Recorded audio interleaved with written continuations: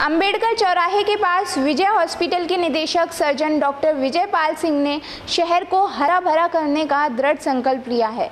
शहर को हरा भरा करने की मुहिम डॉक्टर विजय पाल ने पिछले चार वर्षों से की जा रही है। डॉक्टर विजय पाल सिंह में वृक्षारोपण का ऐसा जुनून है कि उन्होंने अपने हॉस्पिटल परिसर में ही ट्री गार्ड बनाने के लिए मजदूर लगा रखे हैं। प्रतिदिन नए ट्री गार्ड उनके हॉस्पिटल में बनते हैं। अलवर न्यूज़ चैनल से डॉक्टर विजय पाल सिंह यादव ने विशेष बातचीत में बताया कि वृक्षारोपण का जुनून तो उन्हें बचपन से ही था। शुरुआती दिनों में भी वे पेड़ पौधे लगाने का कार्य करते रहते थे।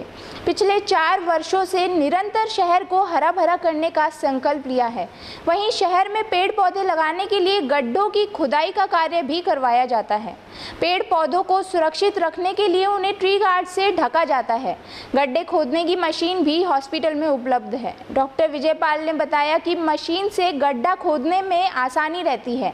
डॉक्टर विजय पाल का मानना है कि जिस तरह कोविड 19 के दौरान ऑक्सीजन की किल्लत रही, अगर हर व्यक्ति एक पौधा लगाने का संकल्प ले तो शायद ही ऑक्सीजन की कमी होगी। वृक्षारोपण करने से प्रदूषण पर भी नियंत्रण रहेगा और स्वास्थ्य भी बेहतर रहेगा।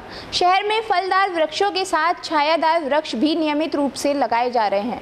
डॉक्टर विजय पाल ने आमजन से अपील की है कि एक व्यक्ति एक पौधा अवश्य लगाए। मैं डॉक्टर विजय पाल सिंह सर्जन हूँ मैं विजय हॉस्पिटल है। अलवर में जैसे मैंने बताया कि पिछले चार साल से हम पेड़ लगा रहे हैं। लेकिन इस बार हम पूरे पूरे ज़ोर शोर के साथ में पेड़ लगा रहे हैं। पूरे अलवर शहर में पूरा इसी साल लगा देंगे। ये हमारा संकल्प है। मैंने पहले मेरे फेसबुक पे भी डाला था कि इसी साल ही पूरे शहर में हम पेड़ लगा देंगे। और पेड़ आपको पता है कि ऑक्सीजन देते हैं और ऑक्सीजन के बिना हमारी लाइफ नहीं है। जैसा कि आप कोरोना के समय भी देख चुके हो, अभी तो हर बच्चा बच्चा जान गया है कि हाँ ऑक्सीजन की ज़रूरत पड़ती है। और ऑक्सीजन आज तक कोई धरती पे ऐसी कोई मेडिसिन नहीं बनी है कि या कोई मटेरियल नहीं है जिससे ऑक्सीजन बनाई जाए। केवल जल है जिसमें हाइड्रोजन और ऑक्सीजन के होते हैं, उनको भी अलग करने के लिए, लेकिन हाइड्रोजन की मात्रा बढ़ जाएगी उसमें। इसलिए केवल जो पर्यावरण, प्रकृति ने हमारे को बनाया है, ये पेड़ दिए हैं, जिससे कि ऑक्सीजन बनती है। तो सबसे इम्पोर्टेंट चीज़ ये है कि जब हमारी हवा, सांस और दूसरा पानी, खाना, ये ठीक होगा तो हम अपने आप स्वस्थ होंगे।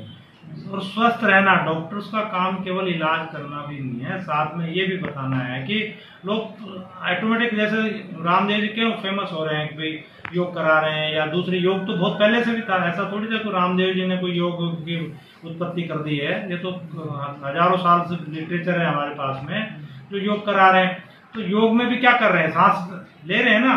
सांस ले रहे हैं, उसी से ठीक हो रही बीमारी की। ऑक्सीजन कंसंट्रेशन जैसे टिश्यूज के सेल्स के अंदर ज़्यादा होती है तो बॉडी अपने आप उसको रिपेयर करती है, ठीक कर लेती है।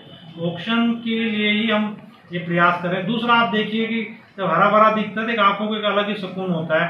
आदमी को छाया मिलती है, पेड़ के नीचे लगभग गहरा पेड़ है तो कम से कम साठ डिग्री का डिफरेंस रहता है। सर्दियों में और गर्मियों के टेम्परेचर में। आप हमारे यहाँ देखिए, बाहर अस्पताल के लगे हुए हैं। हमारा एसी का बिल जब ये नहीं थे, और अब में लगभग 20 से 30 परसेंट कम हो गया है। सिर्फ़ इन पेड़ों से तो ऐसे सब लोग कर सकते हैं। एसी का पोल्यूशन कम हो रहा है सब पेड़ डॉक्टर साहब कहीं ना कहीं प्रदूषण को नियंत्रण करने में भी सर पेड़ पौधों के काफ़ी डेफिनेटली प्रदूषण तो बहुत मात्रा में ये साउंड पोल्यूशन कम करते हैं। बाहर खड़े आपके घर के, वहाँ की डस्ट कम आएगी आपके घर में। है ना, ये बहुत तरह के फ़ायदे कर रहे हैं। एक फ़ायदा नहीं कर रहे। वाटर रिचार्जिंग का काम भी करते हैं ये। पानी ज़मीन से लेते हैं बट ये रिचार्ज भी करते हैं वाटर को, क्योंकि इनकी जड़ के साथ में ये पानी को रोकते हैं, जैसे बाढ़ नहीं आने देते हैं रिचार्ज में काम करते हैं, कटाव में काम करते हैं ये। बहुत सारे औषधि हैं, फल आ रहे हैं, जैसे इस बार हमने पिछले दो साल से हम फलों वाले पेड़ पे ज़ोर दे रहे हैं सबसे ज़्यादा, क्योंकि जामुन सहतूत वगैरह लगा रहे हैं जिससे कि पक्षी भी खा सकते हैं, बच्चे भी खा सकते हैं। पहले बहुत लोग झगड़ा करते थे कि नहीं साहब, हमारे तो पत्थर मारेंगे, लेकिन हम मैं खुद जाकर समझाता था लोगों को कि हिमाचल में सेब के बागान है, कौन पत्थर मार रहा है? ऐसे यहाँ भी हर जगह आपके एक एक कॉलोनी में दस दस पेड़ हो जाएँगे वैसे नीचे इतने जामुन गिर जाएँगे तो खाने में ना कौन पत्थर मारेगा आपको? सर आप इस मुहिम को सर घर घर तक पहुँचा रहे हैं? बिल्कुल घर घर घर तक पहुँचा रहे हैं। मैं खुद जाता हूँ। मैं खुद जाता हूँ।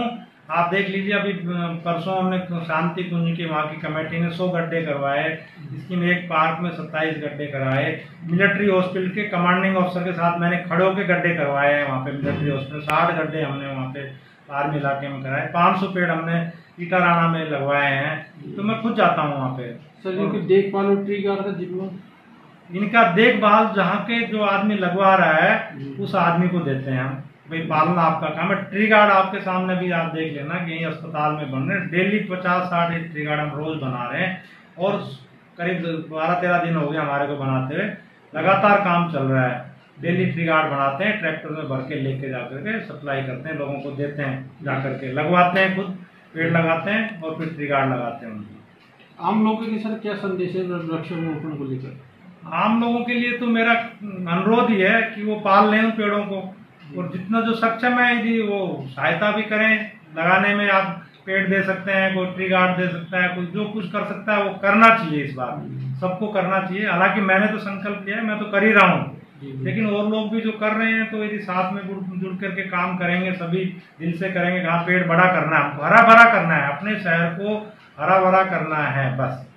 ये संकल्प लेना चाहिए, हर हर शहर के वासी को ये संकल्प लेना चाहिए।